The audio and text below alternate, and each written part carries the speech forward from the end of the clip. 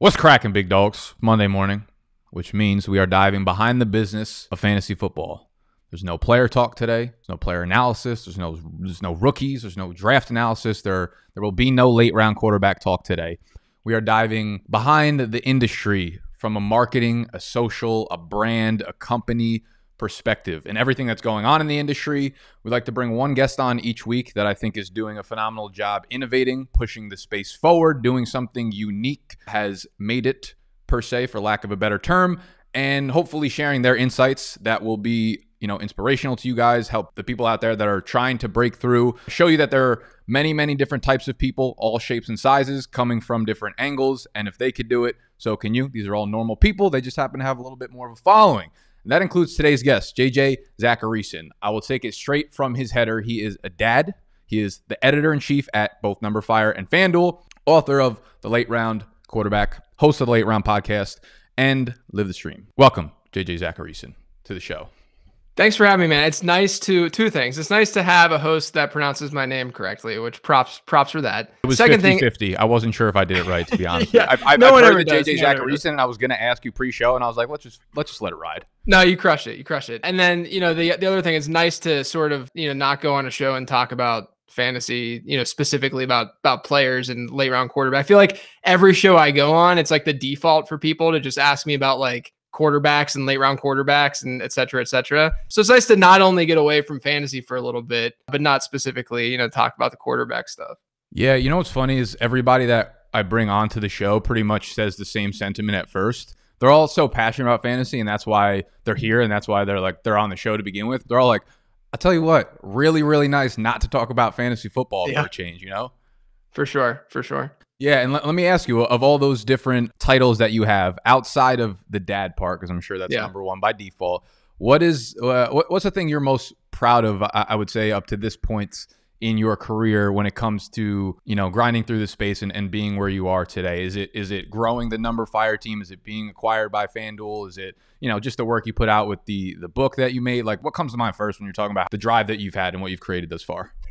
Yeah, you know, it's interesting. That's a great question. I, I, think that it's sort of been in stages for me, of course, you know, because like a lot of those things have happened at different parts of my career. You know, the book is really what launched my career and was, you know, that's that's how I got noticed at first. And then, you know, going into numberFire, then getting bought by FanDuel had its own little stage in my life. And then now, you know, doing the the podcast thing, like as I'm doing so frequently now, you know, that's sort of just been, you know, like the late round podcast has become like my baby in the space where I'm just putting so much effort into that. So like current time, it's probably that, but I don't want that to diminish, you know, the other things that I'm, I've got going on. And like, I don't want, you know, someone who's working for me who's listening to this right now feel like I'm yeah. I'm giving them the shaft a little bit by not by not calling out the editor in chief side of things. But yeah, I mean, like the late round podcast has just become like what I do in the space at this point, and it's cool and it's fun, and I, I really enjoy it. But every single one of those things, you know, that you mentioned had played an, an incredibly important role for me to be able to like get to the point of doing that podcast as a as a big chunk of my job. Yeah, I mean, listen, that, that's your baby, so to to be proud of that obviously makes sense. Getting to that point though, you know, I've listened to some of the interviews and podcasts you've been on where you delve into these topics at a smaller scale. Now, before you started doing the fantasy football stuff before it was actual work for you you were in the marketing world. You went to the university of pittsburgh i believe. And tell us a little bit about your segue from school into marketing at the ad agency and then kind of you know the bridge from there to fantasy football. In high school and i know that you were talking college there but it's necessary to sort of preface this but in high school like i never did traditional jobs really. I mean, I had some, but I usually would like quit after 2 weeks cuz I just couldn't couldn't handle like working for people and stuff and I was immature and all that kind of stuff. But I I in high school I was self-taught graphic design and, and a little bit of web design. And so the way I would make any money like in summers and stuff and even during the school year was I would just like find people who needed websites done and I'd do them for very very cheap because I was 16 years old and back then like it wasn't like like wordpress wasn't even a thing really back then. So it was more so like hard coding stuff. And so there's a little bit bigger of a barrier to entry back then. So that was sort of like my background going into college then. And so from there you know at first i didn't know if i really wanted to do graphic design or web design or, or what have you in college. I decided to go the marketing route because, you know, I figured I have this stuff that was already self taught. I don't know if you know, getting a, a, deg- uh, getting a degree, sure, it would take me down this path for my career, I'm sure. But if I, you know, understood the marketing side a little bit better, the business side a little bit better, felt like I can merge those two and, you know, be a little bit more dynamic as an employee. So, you know, I went to Pitt, got my degree there. And then soon after I graduated, my girlfriend at the time, now my wife, she had a job out in Cincinnati, Ohio. And so I started looking out there and it was kind of kind of a good spot for me because Procter and Gamble's out there and you know, I got my degree in marketing. I knew that given my background in graphic and web design, getting into the ad agency world would have been pretty cool. And the fact that P&G was there and they have all these consumer brands, I would be potentially working on. I mean, there's so many ad agencies in Cincinnati and they all work for Procter and Gamble. And so I knew that if I could get into an ad agency there, then I would be working for these giant brands and that would be really cool. And that's really shiny and fun, you know, coming out of college at 22 years old. I got my degree, got a job out there, and I was a project manager and that's really where things like you know i worked with awesome awesome people. I you know that i still am in touch with a lot of them but you know it was just not a very fulfilling thing for me. You know the pm roles in the ad agency world are very much glorified admins in a way in a mm-hmm. lot of places at least and I just knew that I had more to bring. You know, like I, I, had a background in being creative and like designing things and building things. But then I was trying to like merge these two worlds with my marketing degree and the, and the design background into this like project management role when realistically it almost did none of that in a way. Like I had the knowledge to be able to PM projects and like bring web developers together and get them on on track and, and allow them to understand like what the tasks are, et cetera, et cetera. But at the end of the day, I like I felt like I was like, I want to be the person who's actually doing the stuff, right?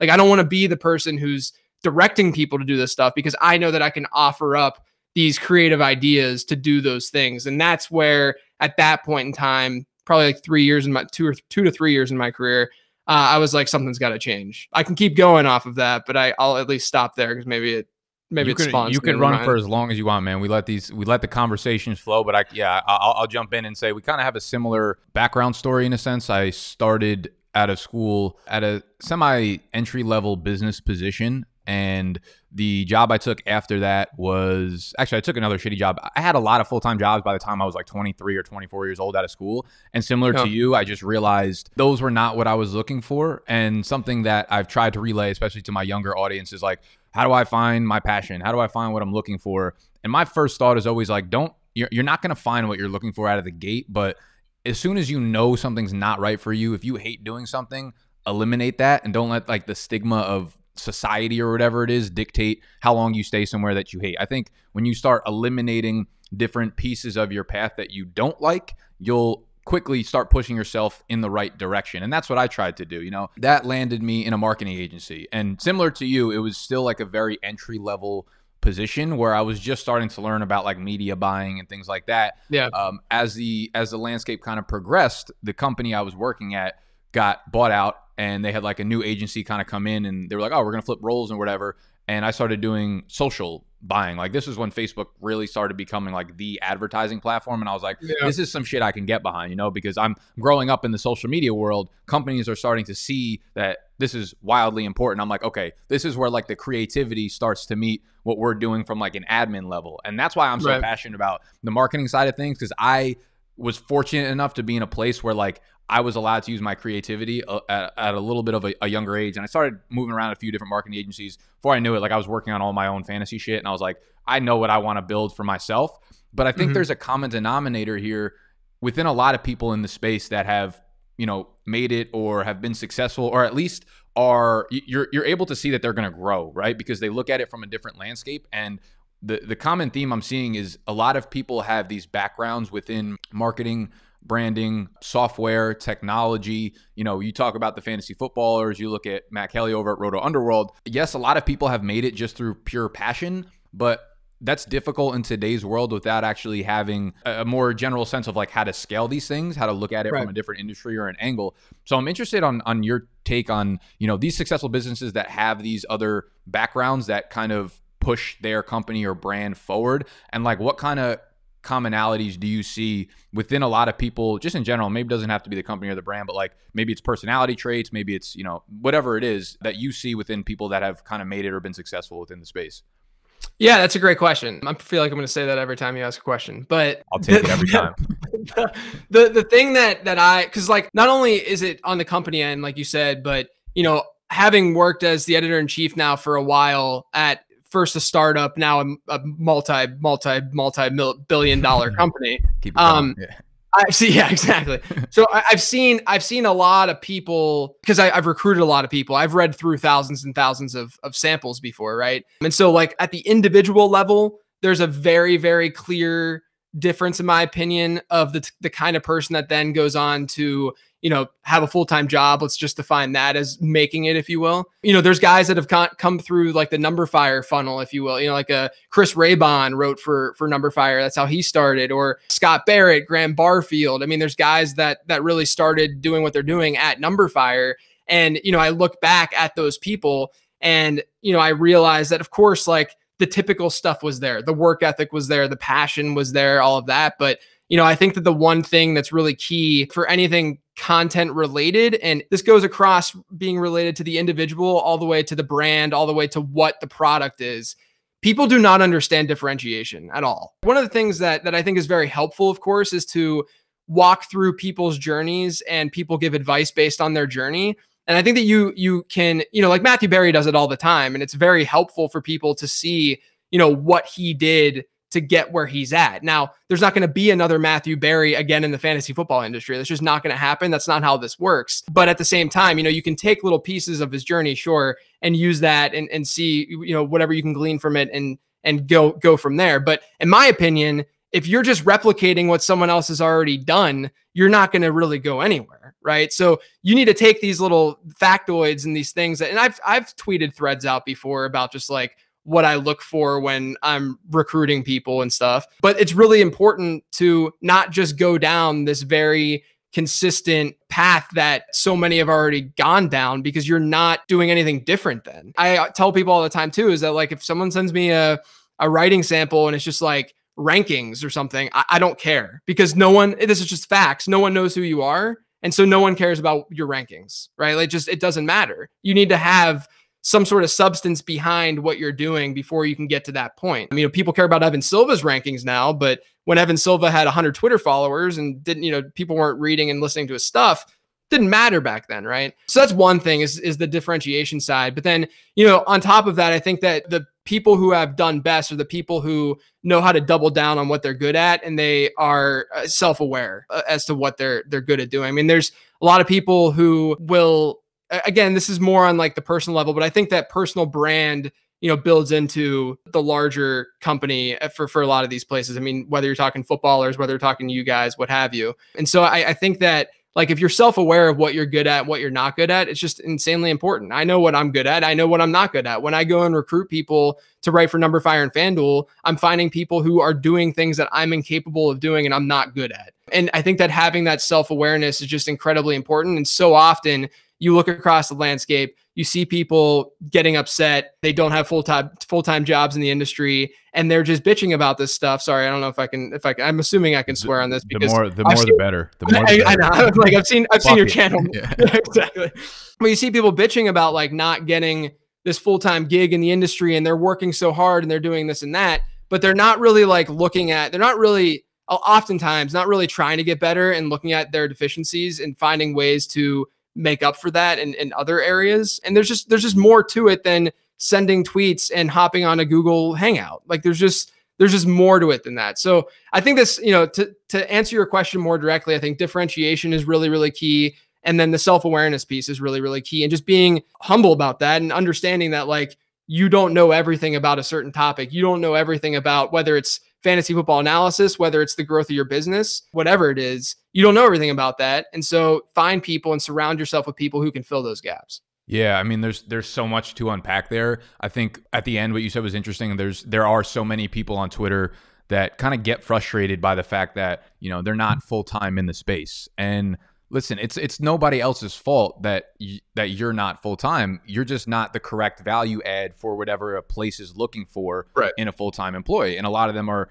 you know, going on and blogging and writing, and it's like, listen, that only pushes the needle so so far. And it goes back to self awareness. I think it's it, it's an interesting space because you have like brands building themselves up, which have a really a really big ceiling from a like a personality perspective. And you have individual content creators, and you know it's it's this like dichotomy of what you want to do and based on like what you want to do you kind of have to reverse engineer the content that you're putting out. And we have a lot of like young kids that ask me like you know how do i start working for you? Or like if i'm a communications major what would be like the next step for you to do this? And i'm just like in today's world especially in an industry where one, it's obviously super saturated, but two, it's like you have to be really creative to stand out. It's not about being like just straight up the smartest on paper. It's you, you kind of have to create your own job, right? It's not like someone is out there basically offering you the role. Yeah, every once in a while, FanDuel will be like, "We're opening up a full time position." They're gonna get five thousand applicants there. Like the way to stand out is right. by doing that. You're like.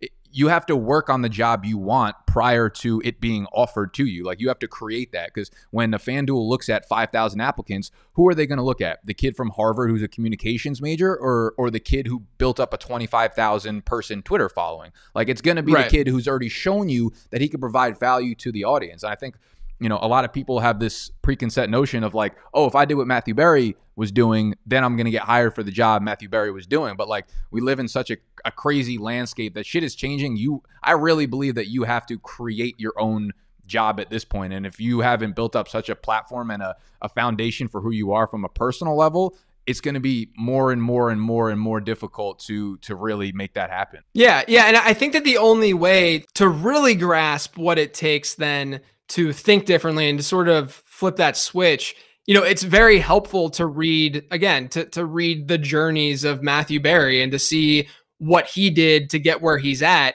But you know it's in order practically it's not practically helpful. It's it's like inspirationally helpful knowing that like he started from nothing but nothing he says yeah. to you and no knock on him obviously most of the shit that i say probably won't be practical for most people but like yeah 100% it's crazy. And i think like you know differentiating yourself too on that point I think a lot of people look at this in a very like too top level view. There's so many ways to differentiate. And I think people like, oh, I need to come up with this new statistic or piece of analysis that differentiates me. It's it there's so many different levels to this yes. shit. Like, you know, it's it's finding the niches within the niches of things that can differentiate you. Like being on TikTok first can differentiate you. Being someone who's a great writer you're not going to break out from blogging, but like there was a time where you could break out on Instagram because people loved the long captions of those things. Like those are the types of things I'm looking for when I'm talking about like niching down and expanding yourself through differentiation. Yes, and a good example of that is is because again I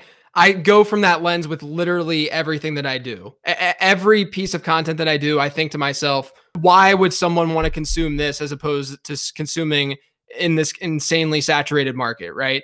And so, from my perspective, uh, like a good example, I think of what at least how I've tried to use it is with the late round podcast. And I I say that because I don't think that the you know if I were to start another hour long podcast like everyone else in the industry has, uh, you know I don't know if it would have gotten to the point that it's gotten to today from a downloads numbers perspective and all that kind of stuff because what I try to do is look at it from the perspective of okay, how can I really differentiate this show? I'm going to start a new show. It's going to be a solo show. How what can I do to make this stand out? And I realized that there's nothing there was nothing in the fantasy space that really gave you a TED Talk esque angle to fantasy football. And so instead of differentiating more on the content end, and by the content end, I mean, you know, doing a certain study that no one's done before, I'm differentiating instead via shortening this podcast instead of doing it an hour it's 15 to 20 minutes each show. It's really digestible that people can just listen to really quickly in their car and that's it. That's all you need. That's all you need to do. It's something that simple. Now hopefully the content itself is good. I hope you know i hope i'm not shitting the bed with the content that i'm putting out there. But regardless you know like it's it's just those small tweaks really can go a long way in growing whatever you're trying to grow yeah, I mean, th- there's so many tweaks. It could be a timing thing. It could be a scheduling thing. It could be a fucking personality, appearance. Like, there's just so many different angles with it. Find what's most natural to you. Figure out why that's your twist, and then hit it. And of course, the the under, yeah. uh, underlying denominator always has to be good, good content. That will play itself out over the long run. So you you transition from an ad agency and you started working for Numberfire, and you were like the first person on their their team to start building up the team, correct? And this was while you were still in the marketing field. Yeah, so basically what happened was when I was like not feeling feeling it much with my gig in the ad agency world, I I did what a lot of people in their early 20s who don't really, you know, you I, I took a step back and I'm like, do I really want to do this shit for the rest of my life? Like, is this really what I, I'm gonna be doing? And so I I realized I didn't want to do that for the rest of my life. So I really just opened up a Word document one day. I remember it pretty vividly I opened up a Word document. I just started throwing ideas of like what my passions were into this document. Had some stuff listed in there. You know, I've always been like this fantasy football, taking it too seriously guy in my league. And so I was like, well, let, let me like investigate this space a little bit. You know, I was a, uh, someone who like would consume fantasy content and stuff, but not to like an insane degree. But I also just knew that, you know, I was just really into to fantasy. I had commissioned my leagues for like seven or eight years at that point, nine years. And I just knew that I really liked it. And then at the time, after researching like what was going on in the content space there, I realized that, you know, people were the, the big theme. This is back in 2011 to 2012. The big theme back then was drafting quarterbacks early in your fantasy draft. And so I, I looked at that and I'm like, this doesn't make any sense logically, right? Like my brain just started going and going and going. And I'm like, I've been drafting quarterbacks late my entire fantasy football life and there's reasons for it clearly i just never ever really like put it all to, to paper and so from there what i did for the next year eight months let's say i would work during the day and then i'd go home and i would just work on this what ended up being the late round quarterback ebook and it was not you know, at first I didn't know what I was really writing for. I was just sort of like finding that outlet in a way and just trying to like do something different to sort of get my creative juices flowing. But I sort of realized at the time, and this is again, this is back in like 2011 before like ebooks were everywhere they are today. And like, you know, you could make a PDF and like there's converters and stuff that'll just yeah. throw it into any any store you want back then you had to like code it if you wanted to be responsive on on different like devices and stuff so i was actually like meshing all of my like my entire background together into this late round quarterback ebook because I was putting design elements in there and I was like creating the logo for it and stuff. I was coding it on the front end from a front end perspective and doing some like CSS and stuff like that. And then I was able, and then obviously the marketing to get it out there. But then I was also getting my creative juices flowing a little bit because I was looking at data, which I had always been very good at math and stuff. But I was looking at data and I was writing and I was putting, get, getting the creative side that I hadn't really tapped into since I had started my job after after graduating college. So I sort of just brought everything together and I created this late round quarterback ebook that I then launched in June of 2012. So, you know, just think of the typical fantasy season that was like a little bit before people really get into into drafting for redraft purposes. And then from there, you know, that was a season where like I think it was Andrew Luck's rookie year and like these like RG3 had a good so all these late round quarterbacks like hit, right? Mm-hmm. But I knew also that it wasn't I, I didn't need just like that luck for the strategy to play out because I knew that it was a strategy that just was like logical and just inherently made sense.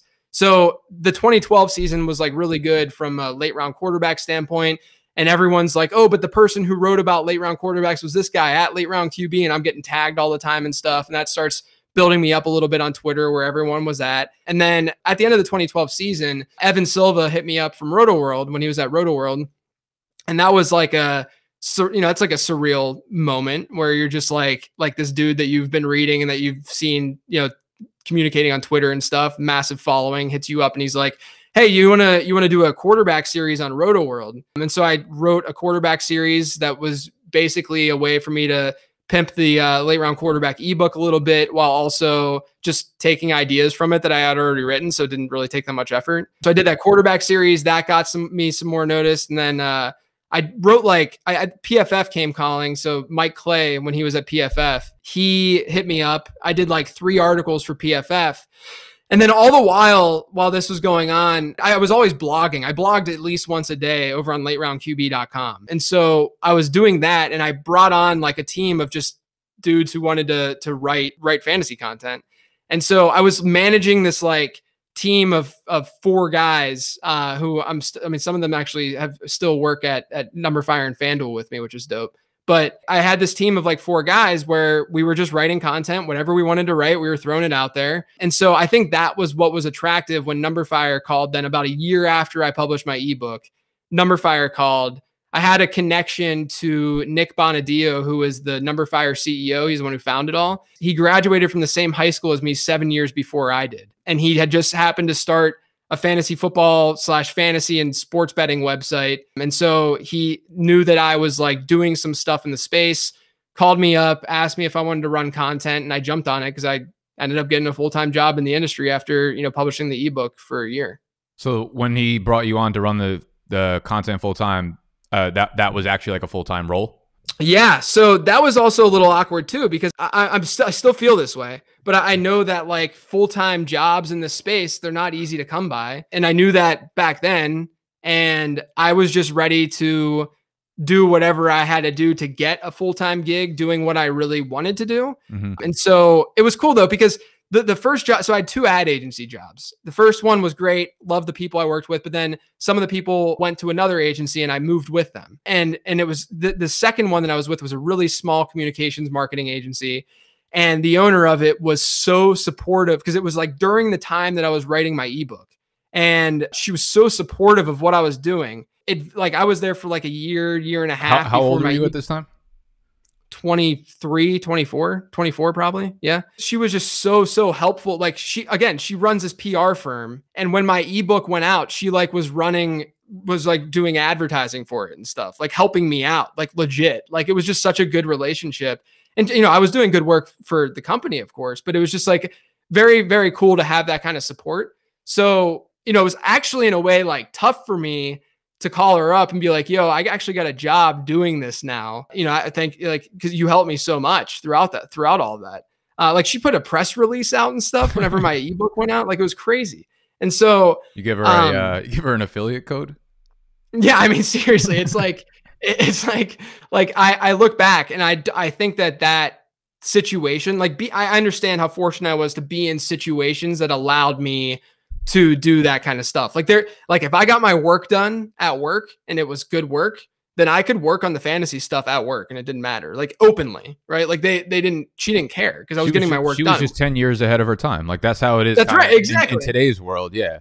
You know, it's funny where I sit, I'm I'm actually surprised that you're underneath somebody in terms of like as an employee because I too started to learn all these things when I started doing the YouTube and the content stuff like learning how to make websites and learning how to design things and learning all the ins and outs of being someone who was going to spend the rest of his life doing things online and in technology and whatever and I got to the mm-hmm. point where I was like I need to know video editing I need to know all of this shit because I don't ever want to run something where like I'm asking someone to do something that I don't know how to do. It makes me uncomfortable.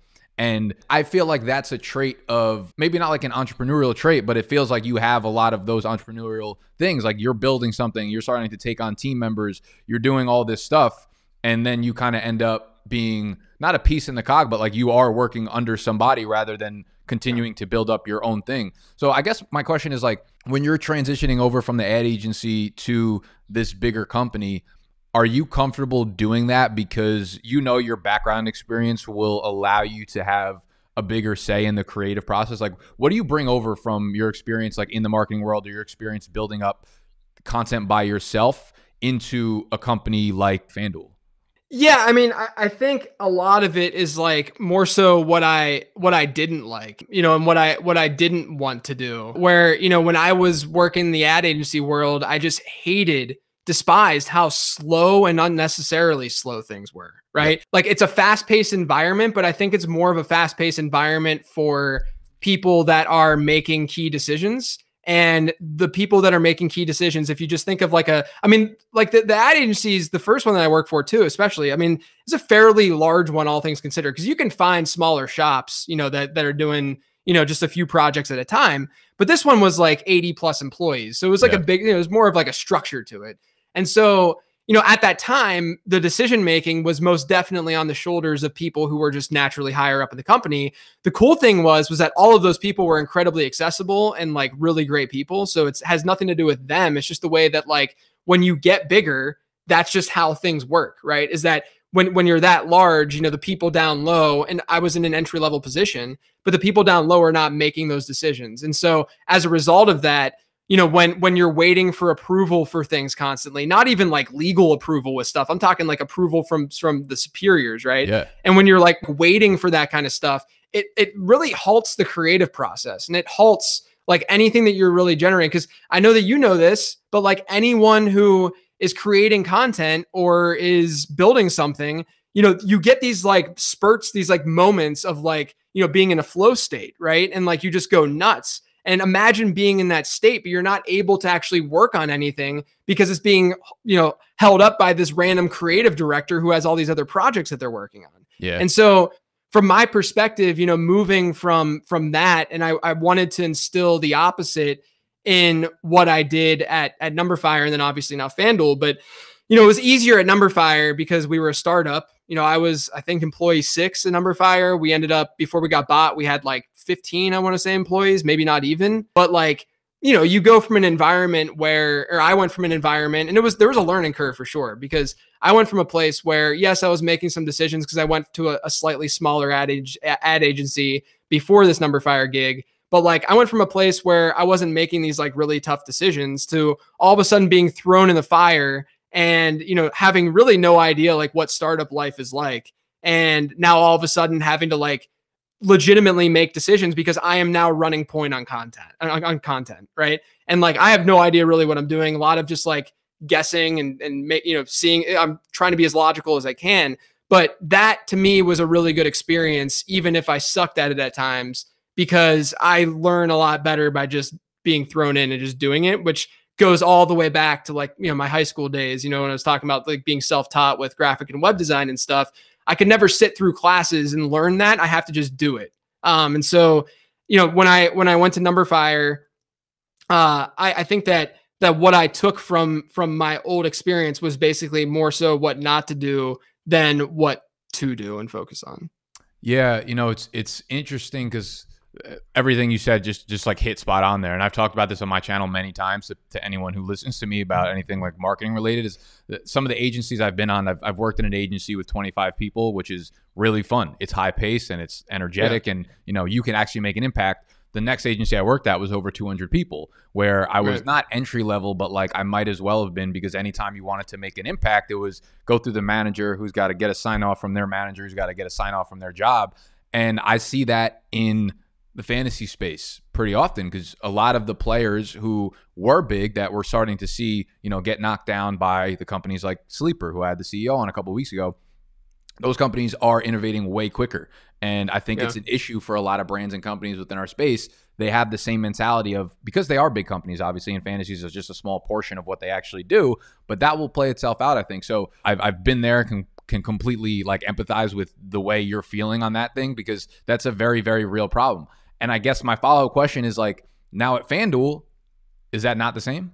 Yeah, I mean it is because it has to be right. It's impossible yeah. for it not to be. That's not a knock on FanDuel at all. I, I think that in comparison to other big, com- I mean FanDuel's massive now, and in, in comparison to other companies of its size, things move faster. So from that perspective, you know, it's it's good and it's fast. But I would say that you know the good part about me and the way that I work and the way that I want to work is that we're very my team and I are are pretty separate from the usual things that are going on at FanDuel and we have an insane amount of control over what we do and what we publish and what we're what we're creating day to day. So, you know, it's not as much of a problem for me. Like anything that I that I do with my podcast, it's it's on me. And then there's, you know, it's it's more of the bigger picture stuff that you know the the direction that we go in or like the things that we want to change that are larger that would then be sluggish right? Like if we like i'll hear about something you know 8 months ago that is now happening today right? Whereas if i were the one doing it you know fewer people doing something you're going to be able to get it done a little bit faster when it comes to some of you know just regular business dealings and stuff like that. But yeah i mean like it's definitely an issue. It's definitely a thing. I shouldn't say issue. It's definitely more of a thing. But i think the difference between where i was at when it was a thing for me you know when i was 24 years old versus now is that now i have more of that decision making ability. And so I get more out of it. And then also on top of that, like we're very seg like segregated from the rest of the company in a way, just given our function and what we do. And you know, we still communicate across categories and whatnot, and we, we still communicate across teams. But you know, the content team in general, we're just sort of a well-oiled machine, and we're just doing what we want to do, and and it's mutually beneficial for us and the company. Yeah, so I guess on that point, like I'm, I'm curious about the the inner workings at FanDuel when it comes to the content and like your guys' involvement. You say you're you're pretty separated, and we'll just kind of jump to one of the Q and assault questions from my man Sal V, friend of the show. He said, "What was JJ's involvement with creating the in-house FanDuel podcast network? Assume we see more gaming sites begin to go this route. And you know, you said you're kind of separate from what they're doing, and like FanDuel is obviously massive, and they're covering a zillion different sports, and they got a zillion different things going on." where would you say like the fantasy content sits in terms of like the totem pole there? And do you guys have like ultimate content meetings and stuff where do they push a direction that you have to go in or is everything you do really kind of on your shoulders? You choose the direction of the actual content? Yeah, so there's a lot of layers to it. You know, I, I, first off the the FanDuel Podcast Network, I I was the brainchild of it. It started out as the numberFire Podcast Network. When the Late Round Podcast launched, like almost four years ago, I think it is now, maybe three. That's when the whole podcast network launched, and we started doing DFS shows. We have sports betting show now too, and then the Late Round Podcast. And so we basically wanted to bring forth, and this is more of a content strategy thing that that I can get into as well. But we wanted to bring forth a, a variety of shows that would cover everyone or a large number of people in in like a marketing funnel, right? Top of funnel being a very casual player, bottom being someone who's about to convert and be a, a degenerate sports better. You know, you want to cover that that whole spectrum. You know, I don't think we do. We're not what we're producing. So let me take a step back.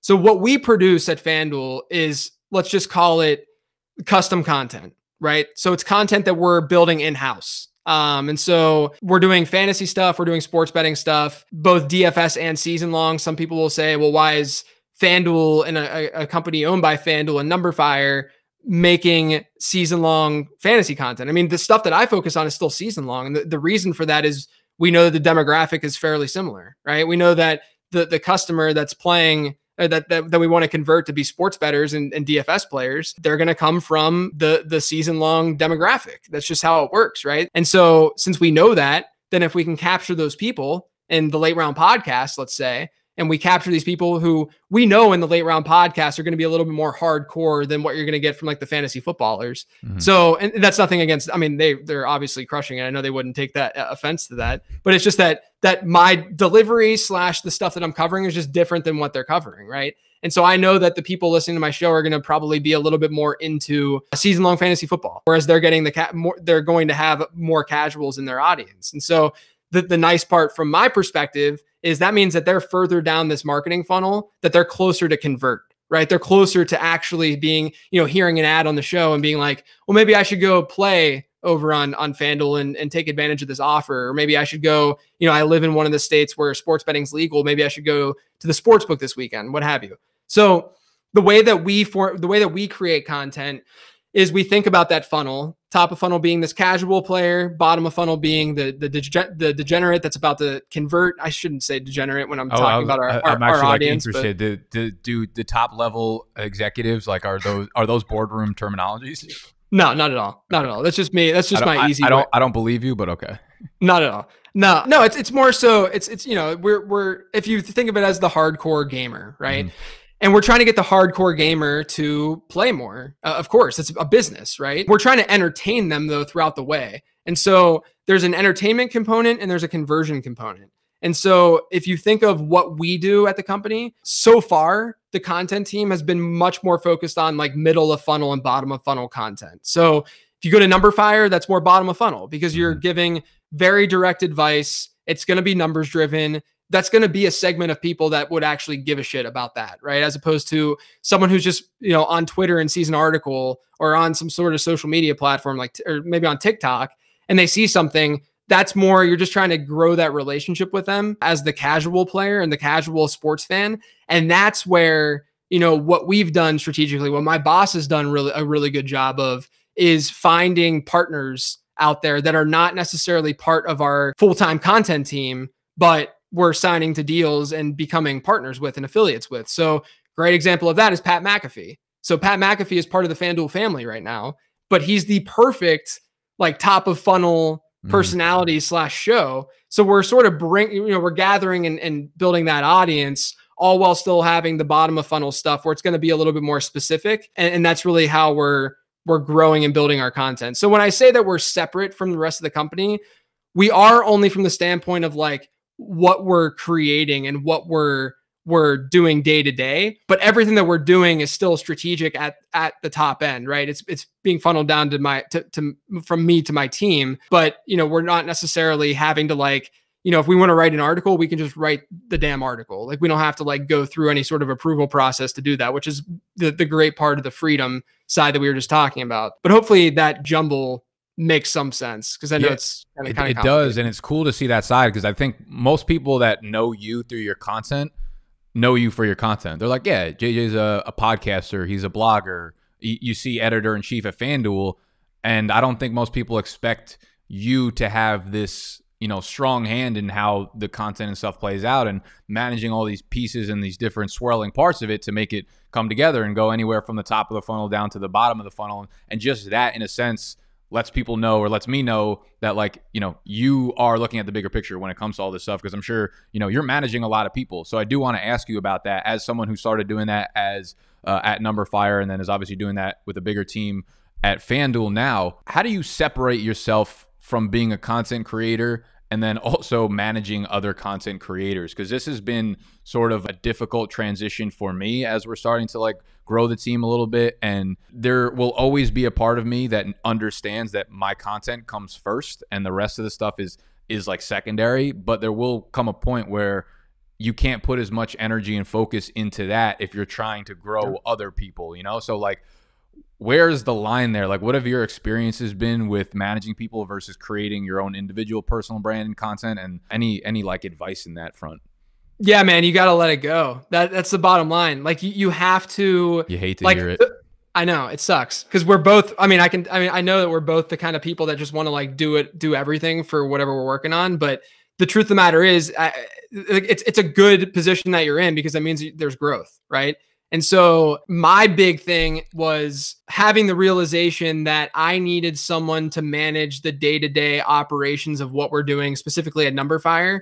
So we have like other content platforms, like we have the Duel, which is not a separate content platform that I don't touch, but and it's more so just like, and we can get into this too, but you know, content has its each individual goal, right? There, there's some goal for whatever content website you're creating or whatever piece of content you're creating you should have a goal at least. And so, you know, the goal at Numberfire is definitely more stickiness at this point and trying to just enhance the relationships with the people that are playing DFS and, and sports betting. Whereas a place like the Duel is more for that top of funnel, getting them aware and making them brand aware more than anything else and getting clicks and stuff. But the one thing, you know, to the management question, the one thing that I realized was that, you know, we were growing and growing and growing. And I knew, you know, you yourself have to figure out what you're trying to do right? And for me, I had the realization that I like I, I love the guys that work for me, don't get me wrong, but I know that I would rather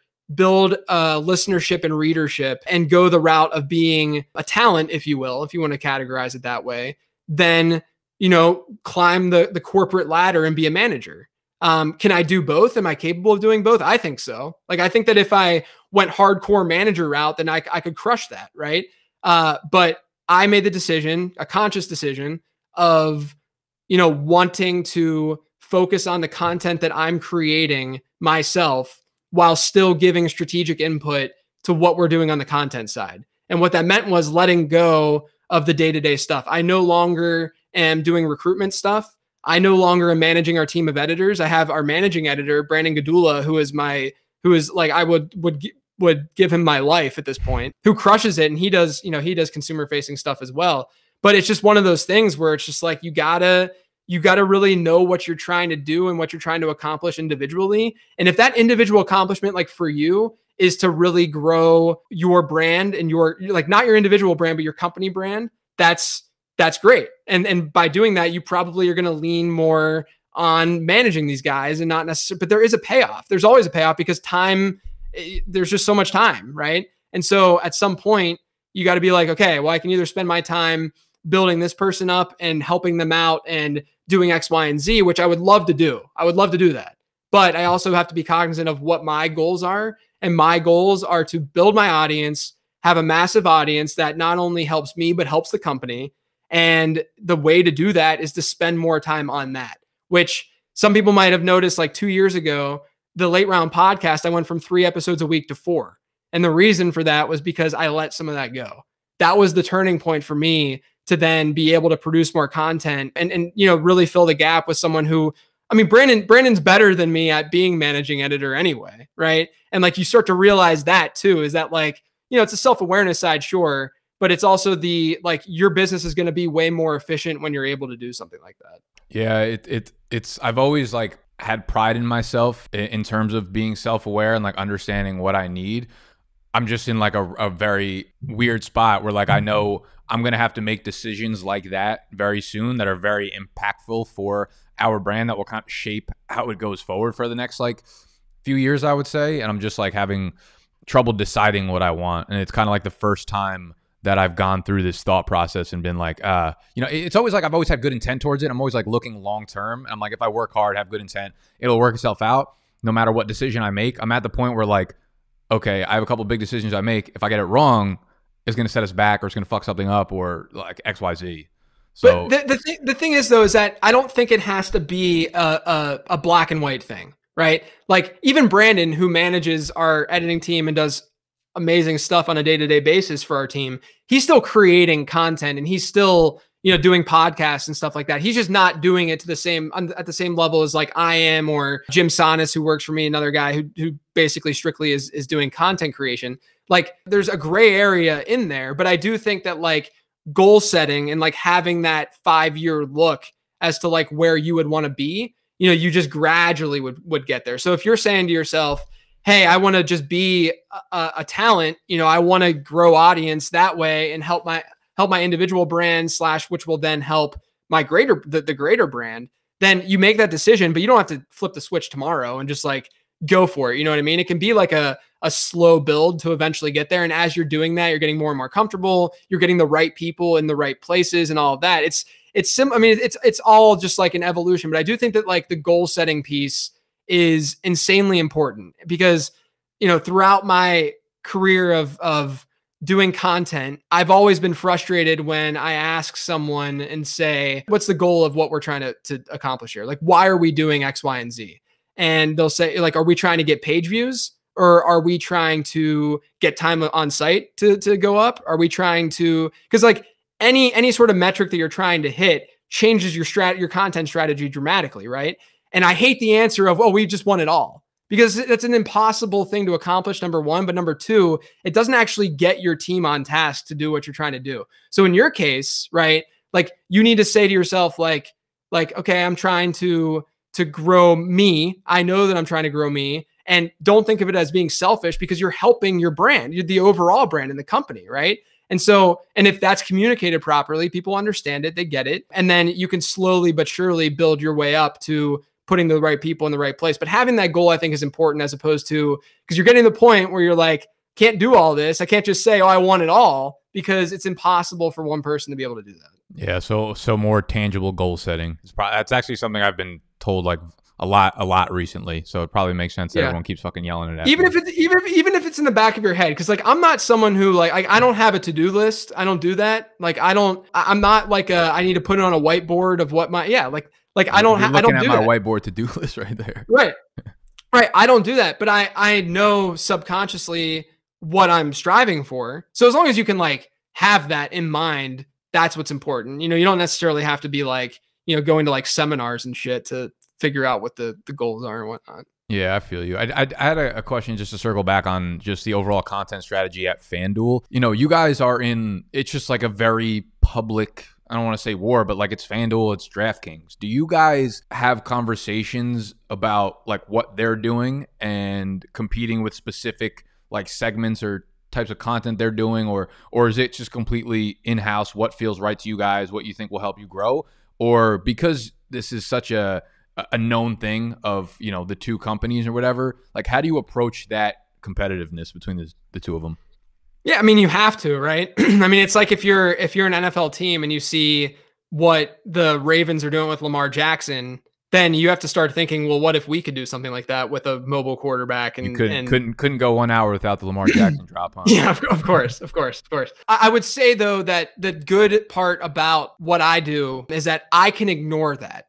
So my job on the strategy side, because again, my job at this point is I'm creating the podcast, I'm doing articles and stuff, but I'm also in my boss's ear from a strategic standpoint and like what we should do, what makes sense, what we can do, and what's possible. And so the nice part is he's coming to me with what DraftKings is doing. So yes, to answer your question, yes, of course. Like we're looking at what DraftKings is doing all the time, but from my perspective as someone who is getting his team ready to make this content, uh, I don't have to say we're doing this because DraftKings is doing this and we're competing with them. I'm coming at it from the angle of like I just want to do good shit and I want to do smart shit. So, yes, you know, my boss is telling me that, you know, DK is doing this and, you know, maybe we should think about doing something that way.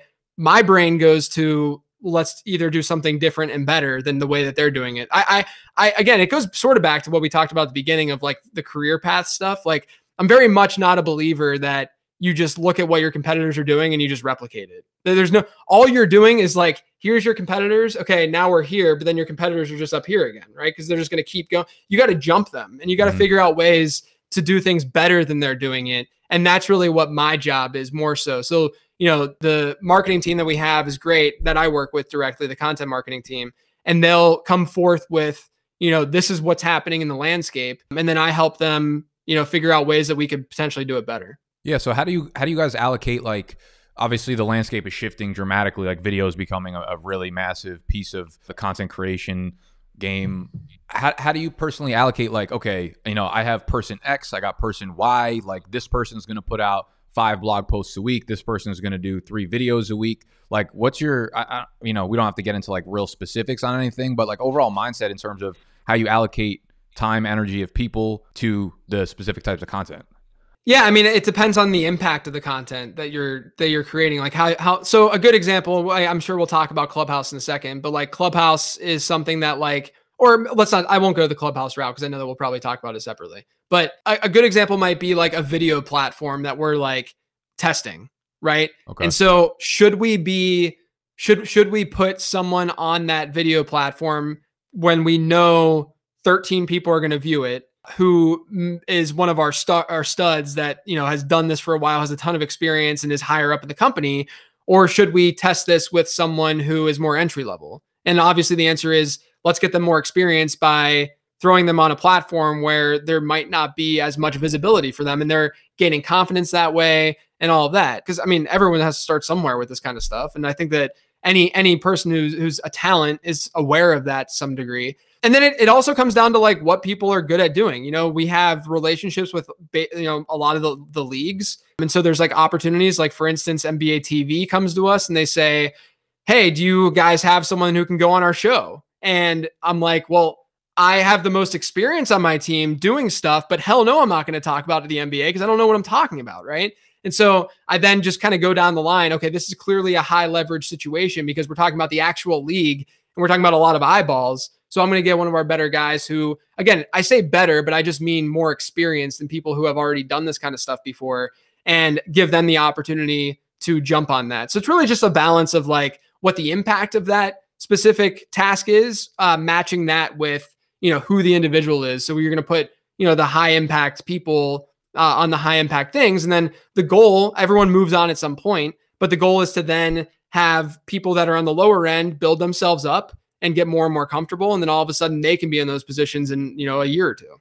Yeah, no, it makes a lot of sense. It's an interesting angle. It's we do so much of our all of our content is is primarily focused on YouTube and we're able to strip the audio and take clips and stuff like that. I do start to wonder sometimes though some of the stuff that's I don't want to say l- uh, lesser performing, but just not as impactful on YouTube. It might make sense to almost focus the energy on creating that for a platform like TikTok and see how it goes there rather than being like, yeah. on top of the YouTube that's not working that well, let's try to strip it and also put it on these other platforms. Rather, you know, like take it down that whole energy section that you're spending on this and put it all towards this and see what comes out of it. So, so it's interesting you bring that up because one of the big things that I, I push for and that we've done over the last few years is is uh, what we've just called audio to video. And so, I mean, it's it's like the the Dan Patrick show model, the Colin Cowherd. I mean, what you guys do, just filming the podcast, right? Mm-hmm. And so, and we've done that more and more. But then you get to a point eventually where you realize that you need to make platform specific content, and then yeah. that becomes more costly and that becomes more difficult. And that's you know we, we're definitely there, and we're like figuring that out. That's that's to your point. That's like the hardest thing to figure out is to know where to take the content that you're creating because you want to kill multiple birds with one stone all the time with content, right? Like you want to be able to record a podcast, have it on video, put it on all RSS feeds, slash, put it up on YouTube, put it on Twitch, wherever the hell you want to put it on, and have it there for people to discover it. But you also don't want to oversaturate it and and you know make the quality worse because you're throwing it on platforms that it shouldn't necessarily be thrown on, right? And so that's where it becomes a little bit tricky. And I don't have the answer for it, but it becomes a little bit tricky to have this like platform specific content that is not just something that you can, you know, one piece of content that you're just throwing out on on every platform. Yeah, it's really difficult because as new platforms emerge, they all have these different specific formats you need to be yes. putting the different content into and it's just like YouTube is horizontal, but like horizontal doesn't play well on Instagram. TikTok right. is literally only vertical. So right. it becomes this whole other piece of investment you need to make just to make the content native to it? Is it going to work? Are we going to, you know, it, it, becomes a crazy, crazy game, which is why I think we've been so obsessed with just investing into YouTube because we've found right. our we found our leverage on YouTube, and like we know the organic growth is there for us right now, so it makes sense for us to divest our energy into that. As soon as that stops working, maybe we take a different approach. But I do think this goes back to a point that I've been making on a lot of these episodes: is like you do have to find if you're not a FanDuel where you don't have the resources to be to be everywhere and have people, you know, editing and producing for you, you have to find that leverage point and it comes back to where the eyeballs outnumber the actual content creators. So yes, it's, it's an interesting dichotomy in the, in this space, and it's just like a it's a crazy, crazy space to be in because the space is literally just built through content creators, right? It's not like the old days where there's products being created and you have these monopoly companies where yeah. The people that run the actual companies don't have faces to them. We're in a space where things get crazy because you know everybody, like you know the personalities of people, and right. we're the ones shaping the space per se, right? Like audiences know us, they tell us what they want, and we make the pivots that way. Um, right. Now you, you did you did bring up Clubhouse. So you completely ruined the fucking segue. We're gonna get into it now. It would have been a per- it would have been a perfect segue. It would have. I should have just cut you off right there and be like, "No, we're going to Clubhouse right now." But I, have seen you be active on Clubhouse recently. I, I myself has, have been trying to be active on Clubhouse recently. It's an interesting stage of where the platform is. It's gotten this like cr- crazy, crazy growth and hype over the last couple months, and predictably so because as more types of content like this pop out, people understand that they need to be on these platforms quickly what I think Clubhouse it, Clubhouse is in a really interesting spot because it filled up with content creators trying to capture an audience before the audience was actually there. Mm-hmm. So it's a bunch of content creators talking to other content creators about how to create content, and I love that because yep. these are like my favorite types of conversations to have. So it's been a good a good space for me. But you've done some fantasy specific conversations. You know, when you're on guy, with guys like Matt Berry and stuff, they're going to have some built-in audience there already. Like, what's your takeaway from Clubhouse, the platform, from like the audiences on there? Maybe how you see yourself integrating it into your personal content going forward. Yeah, so I first off, I think that like for me personally, like my personal brand, a platform like Clubhouse is really perfect for me. Like for me, right? And I know that. So I'm trying to at least acclimate myself with it a little bit mm-hmm. uh, because I know that this face isn't really as good for for TV. You know, I just you just got to hear my not, voice more true. than anything. Look else. at those eyes. Come on now.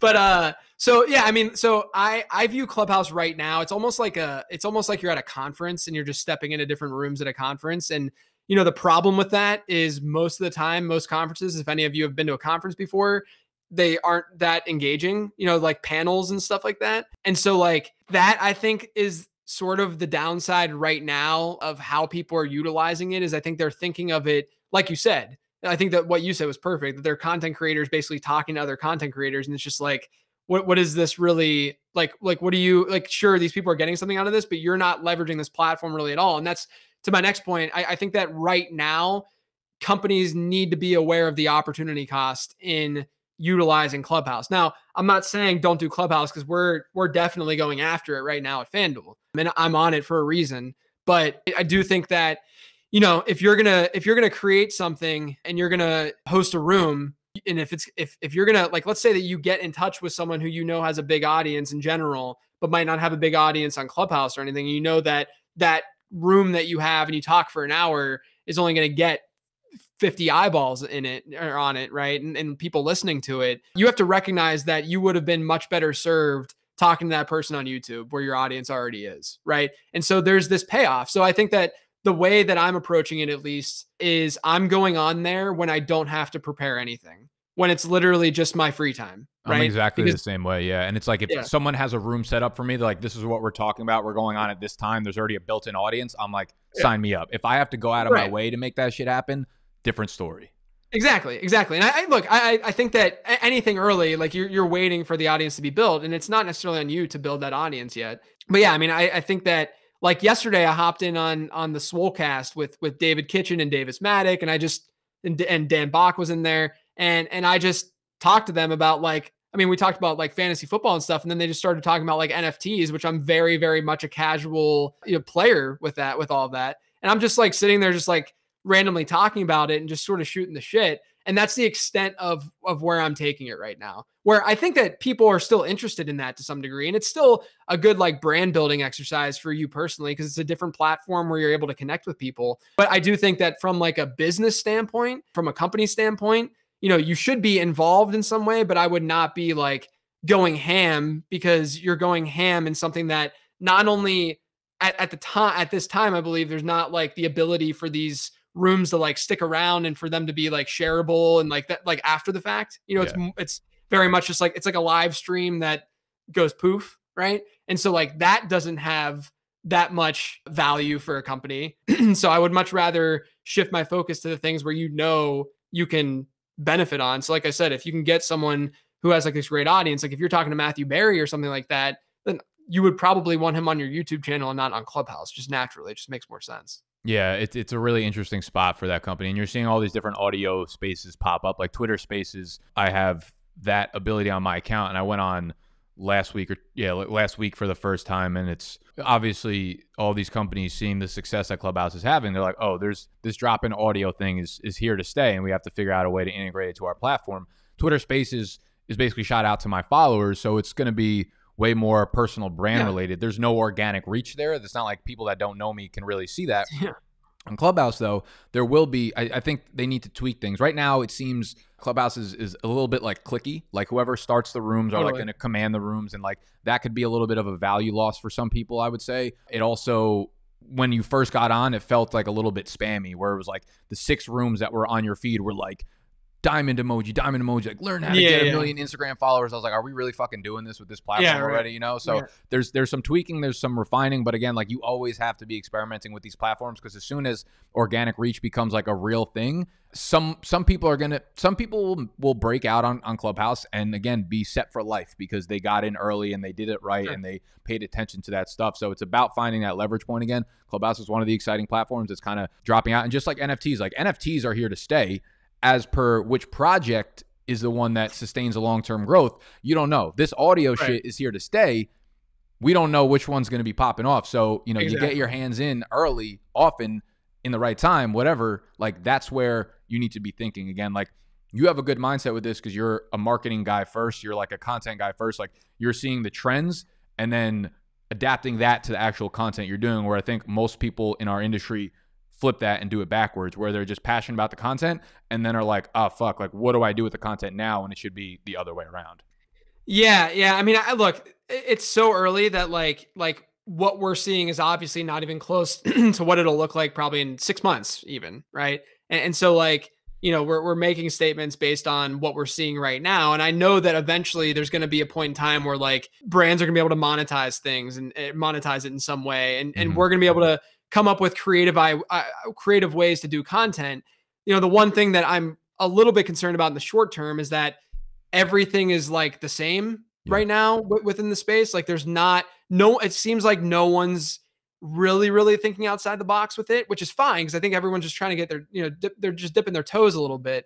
But you know, it's still it's still just so early to to know exactly where this thing's going to go, but I do think that, you know, as long as the way I approach this kind of stuff in general is that like if it doesn't take me a lot of time to do, like a good example of this is like our I do the start a start sit show on on FanDuel's YouTube channel every Sunday morning, right? It's at oh, 12 o'clock, 12 wouldn't, o'clock. Wouldn't wish that upon my worst enemy. Yeah. So it's it's it's at 12 o'clock, right? And it's rapid fire. My brain is fried by the end of it. It's a half hour long. And but to me, it's only a half hour of my time because I'm not preparing Jack, right? Mm-hmm. It's just it's I've I've studied stuff all week long, it's just in the back of my head. So I'm just rapid firing, answering start sit questions for people. And it's only a half hour. Whereas if I'm creating a podcast, an episode of a podcast, that's hours and hours of work, right? So it, it all depends on the opportunity cost side of things. Like, you know, growing YouTube, of course, is very important just naturally, but hopping on a clubhouse for half hour isn't the end of the world, even if it's not really moving the needle that much, just because it's like a just in case type thing. Yeah, it, it's it's an interesting balance too because you have to kind of look at your goals to depend on what you want to be doing. Like I I've done a lot of clubhouse rooms already up to this point and it's not from a place of like, "Oh, I hope I can grow my status on there." It's more so like I really enjoy the conversations yeah. that are happening on there that don't happen here uh, outside of me like consciously yes. going out of my way to invite people like you on to talk about it where more people are getting interested in it so clubhouse has already kind of revolved itself around the whole content creation thing and i'm like I kind of know what I'm talking about with this stuff, so it's cool that I can go in there, talk about what I enjoy, and also assert myself as sort of like a thought leader in the space when yeah. it comes to video creation. So it's kind of a perfect storm for me in particular. But like like you said, there are not a lot of people being creative on the platform. But I think once you do start being the creative person on there, like it's good to have some sort of floor of an audience so that the creativity doesn't like go to die, right? You don't want to start exactly. with two people and have something cool to share and then not be there. So Again, exactly. always goes back to just trying new things out, seeing what works, throwing it against the wall. If it sticks, go in on it. If not, not. All right. Right. JJ, as one of the bigger names in the space, and, and this is, you know, kind of been something we've talked about for like the last hour or so, and why I was kind of intrigued by the fact that like you are working under a FanDuel and not building your own personal brand or building your own brand personally with other personal brands under it. How do you find yourself not becoming kind of complacent with doing a lot of the things that you do weekly over and over again? Is it because they give you so much flexibility and like creativity within the team that like kind of keeps you reinvigorated and keeps you energized with this kind of stuff? Yeah, I think a lot of it is that I don't ever sweat job security. And so I don't really from like a competitive I, I think a lot of people are like competitive with their work because they are worried about because eh, they want promotions and they want to look good, you know, eh, within the the structure of that company.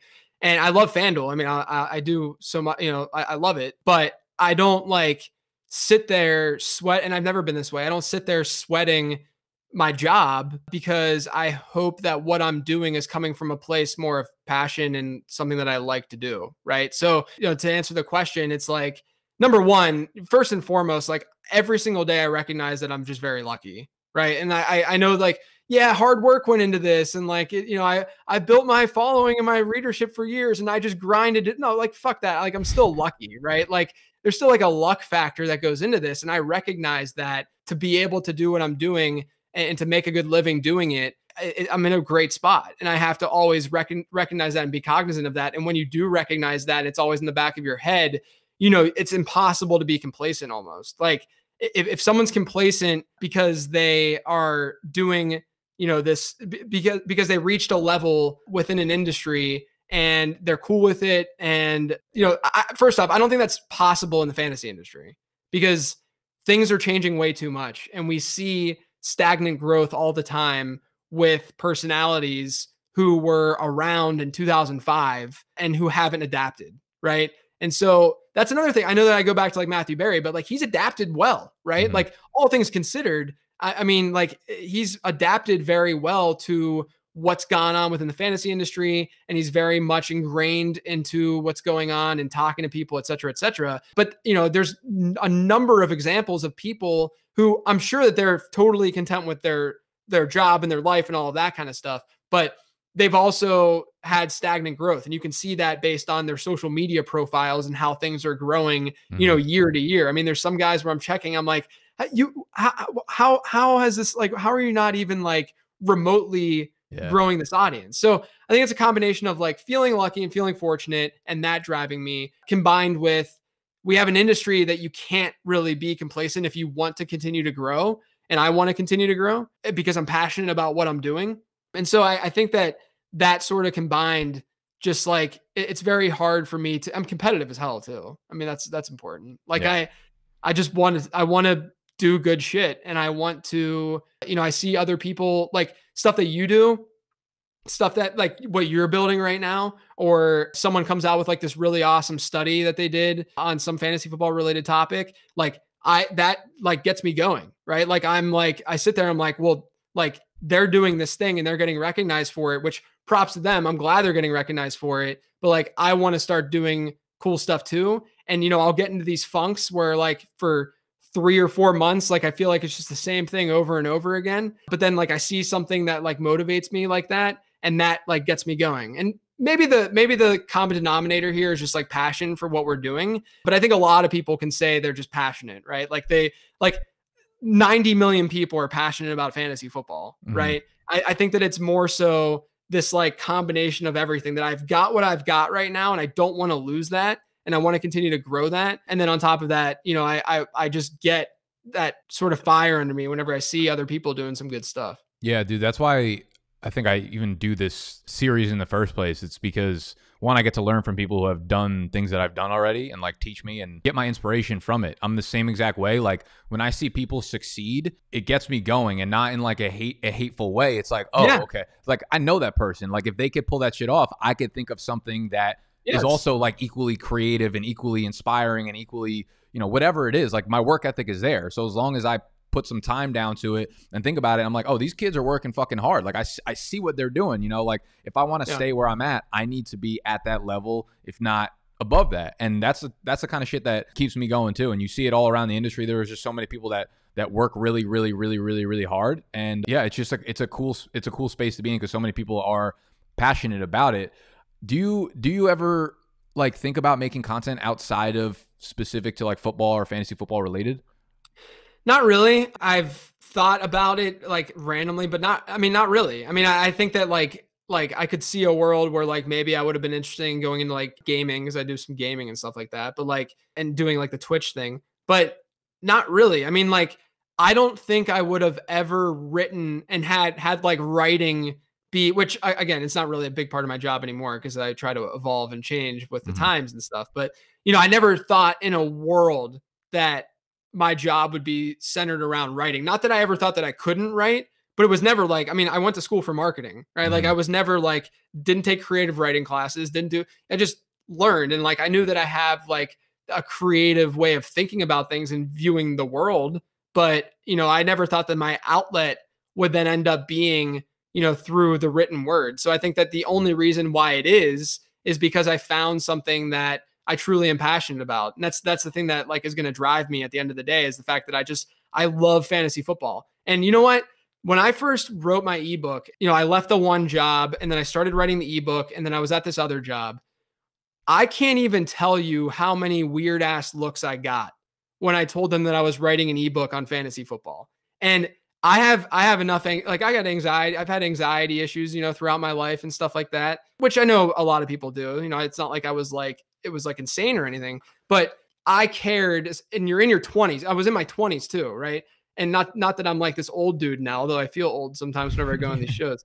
But like like you know, like I'm I'm in my 20s and perception matters, right? Like the like the way that someone reacts to something that you say or something that you do, you know, I, I think it's human nature to just like internalize that in some way. Mm-hmm. And so when I would tell them that I was like, like I would see them at a happy hour or something. I would tell them like, yeah, I'm working on this ebook, but I'm also doing some other marketing stuff, this other company. And they're like, oh, what's the ebook on? I'm like, oh, it's a fantasy football ebook. And they would just be like, cool. Like, that's awesome. That's really, really cool. And, and like, you know, people would like talk shit on it almost. And the only re I, I feel like if that was any other topic, any other thing, I probably would have stopped but I just really, really love this thing. And I hope that it comes out in my content. I hope it comes out in you know, me, so it turns some people off because they feel like I'm like screaming at them when I'm doing the late round podcast. But like, it's really just coming from a place of like, I love this shit and I don't want to let this shit go. And that's what's going to drive me to constantly evolve. And like to your question you just asked, like, you know, the stuff that I do is very data driven, right? And the analysis I do is data driven.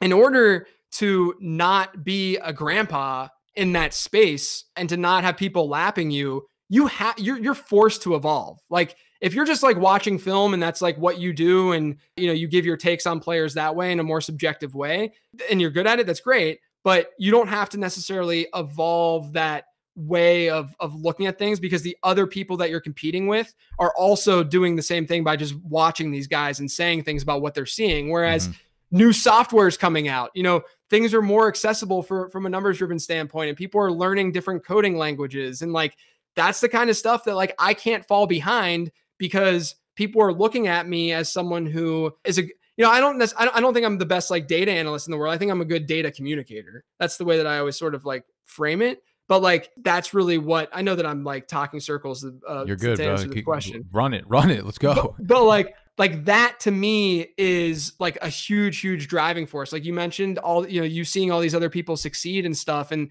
you know the fantasy space in general is one where like like if you do good content you're going to number one be found and you're there's there's room for it there's always mm-hmm. room for it and, and i think that that people don't always realize that they're not internal you know they're not they're not looking at themselves if they're being rejected and stuff. They're they're more so you know just thinking that there's like not there's too much content out there in fantasy but i don't think that's the case. I think that you got to make sure that what you're creating is good. And so as a result of that you get this community of people where we're rooting for each other right? Like we just had the FSWA awards, and when I won the late round, when the late round podcast won best podcast, all three of the fantasy footballers DM me instantly. And like it was like like they wanted me to win more than they want to win themselves, partially because they have 150 effing awards already. But it's just one of those things where like you know it's just it's cool, and that's what really gets you going and motivates you and just keeps you keeps you running because you got to constantly evolve but you're constantly evolving in a space that's awesome. And it's just you you should be passionate about it. Yeah and, and going back to something you did say like how it felt weird you know talking to people about the ebook and fantasy football like i can relate to that on a lot of levels. Like when i start i started a youtube channel about fantasy football like five or six years ago. That was weird at the time. It was like why are you talking into a camera about fantasy football? I just believed so strongly in like in myself and what i was doing. I was like this is this will work you know? Like i just believed in what it was. And everything that people do that's new is going to be looked at as as very weird. But as long as you believe in it like i'm sure there's a reason why you inherently believe in it and it'll probably work out for the better. I think as content creators like you just you know when you put yourself out there you make yourself very vulnerable and that's the uncomfortable feeling. Like you're gonna get judged but also understand that anybody who's ever started anything and anyone who's ever put themselves out there feels the same way. Like we're not just because me and JJ are super comfortable doing it now on podcasts, on video or whatever, does not mean that that was always the case. Does not mean that we still don't get uncomfortable with this shit. Like everybody goes through the ringer with this stuff. So when you're starting out, you're feeling uncomfortable, just know that it's wildly wild. It would be it would be weirder if you didn't feel that way. Yeah, the one thing I would say too, again, I'm I mean, I'm not I'm 33, so I'm not like this like, you know, yeah. Well, the, the generations changed really quickly. So the ebook to me like wasn't a thing. I'm I'm 28, yeah. so I'm only five years younger right. than you. But YouTube was like my thing, and then like someone's exactly. gonna be there's gonna be a 35 year old guy that's like I don't want to get on TikTok because people are gonna look at me weird. Five years from now, right. when when he would have had 600,000 followers and been set for life, like wish he would have done that. Yeah, but if I if there was one thing that I wish I would have really really realized when I started doing this stuff is that it goes back to that perception thing because it goes into like on Twitter, obviously, you're going to get trolls, you're going to get hate, all of that. And when I was 25 years old starting this out and like doing this as my job, there's no chance in hell I handled t- trolls the way that I do now, right? Mm. Part of that's natural maturity and just like you find yourself in your early 20s a little bit and like you're you like know who you are then and then you can handle things a certain way.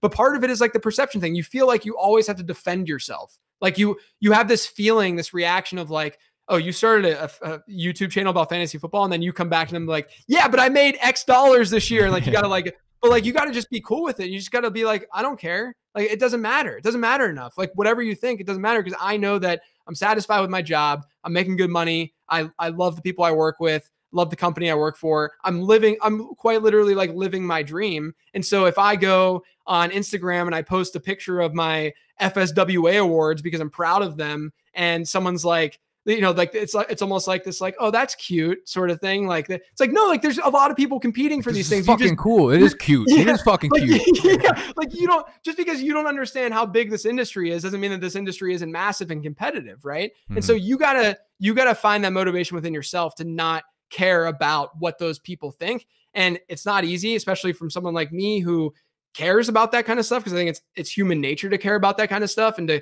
care about perception and you get that anxiety as a result of that. But with time, it just gets easier and easier. I mean, I think that's why like old people are are so they appear so rude. It's because they just don't they don't care, right? Yeah. Like like they've been through so much stuff. It's like why would they why would they care about the way that this person thinks about this one topic? They know they're set in their ways for a reason, right? Mm-hmm. And like I, I just think that like just just not worrying so much about that perception and what you're working on and what you're doing and just going after it is just so un- unbelievably important.